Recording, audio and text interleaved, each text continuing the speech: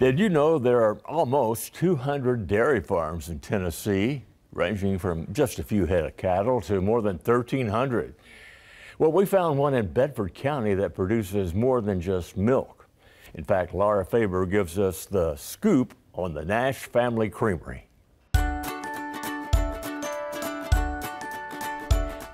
Cream makes everything better, and the homemade kind you can find in Chapel Hill makes for the sweetest stop if you are in the area. Uh, honestly, I really love ice cream.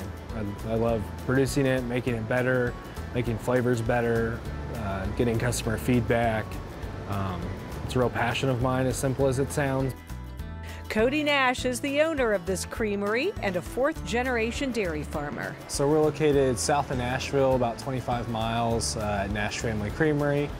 Um, we're located in Chapel Hill. This location is on our dairy farm, so it's a retail location where we make our ice cream and our cheese and then serve our prepared lunches, our gourmet grilled cheese sandwiches, and then some other local products that we sell as well.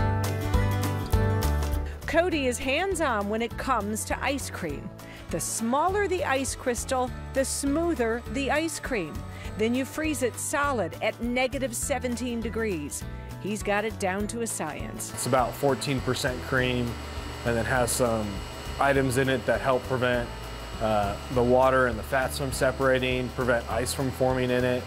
Um, obviously your sugar, cream, all that stuff.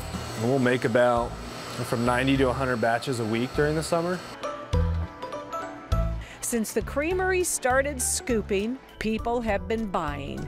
76 year old Thomas Pope is a regular. He's tried every flavor, but he has a favorite. I usually get butter pecan. Come every day except Monday, they don't let me in. How is the ice cream? It's good, it's good. Leisha is about to deliver to me something called the cow trough. Thank you, Leisha. This is like the Mac Daddy of ice cream desserts you can get here. Seven scoops of ice cream, four cookies, fudge, and whipped cream. Bon appetit. The story of this family farm dates back to 1929 when Cody's great grandparents started milking cows in California. Their son Howard took over in 1935, growing the farm to 280 acres and 200 cows.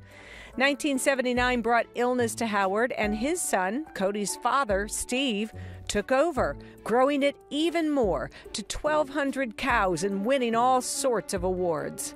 I love cows, okay? I love dealing with cows. They're, just something I, I bond with. Uh, so we knew we had to grow. Growth meant finding a new place to farm, thanks to drought and new regulations. They settled on 480 acres in Tennessee, and the Nashes moved just outside Nashville. When I drove up the driveway, I could see that the stables was going to be my calf barn, that the shop and kind of riding area was going to be uh, a shop for us, um, a storage area for different feeds. Um, it had a big hay barn. I said, it's perfect. That's where we're going to store all of our feeds. So it was just, for me, just the light turned on. The actual angle and slope of the ground was perfect for building these barns. The farm continues to diversify. The Nashes make their own cheese from the herd's milk. On this day, cheese master Sean Clement is making cheese curds. This vat holds 2,700 pounds of raw milk and will make eight 40 pound blocks of cheese. Yellow cheddar, and then we have white cheddar as well as our jalapeno, which is on the back wall, and some of it is here. Several types of uh, flavored curds, Jamaican jerk, and then we do have ranch, as well as our original and our jalapeno. Making curds is very sciency. pH levels, temperature, the cooking and cutting and aging all matter. And nothing goes to waste. The whey, as in curds and whey, is siphoned off and sent back to the barn to use for feed. As an agribusiness major in college, Cody knew he wanted to continue working the family dairy farm, but realized they had to offer more than just raw milk. Research led him to cheese and ice cream. Me and my dad went up to Wisconsin for uh, a week in, in July and just ate cheese and ice cream for like four or five days, just looking at what people were doing up there. Um, So this was just, there was a lot of years of research that came into this before it opened. Um, this is kind of the culmination of all of it.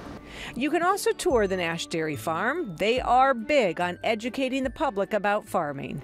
There are more than 1,100 head of Holstein cattle on the Nash family farm. This is your classic dairy cow. They produce more milk than any other breed, and these girls are about ready to go get milked.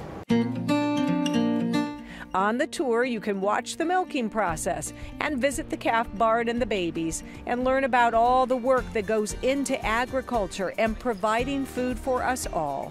It is not lost on the Nash family how special it is that their little family business continues to flourish and bring new things to their community and beyond. Well, they say about 95% of farms uh, don't make it past the third generation, and here we have the fourth generation is, is growing it. From day one, it's been, it's blown the wheels off of what we expected. So it's been, it's been a blessing. Hey, how'd you like the story? We'd love to hear from you in the comments. If you enjoyed it, we have a lot more where that came from. Here's one you might like. And please click here to subscribe so you'll know when we premiere new videos. Thanks for watching.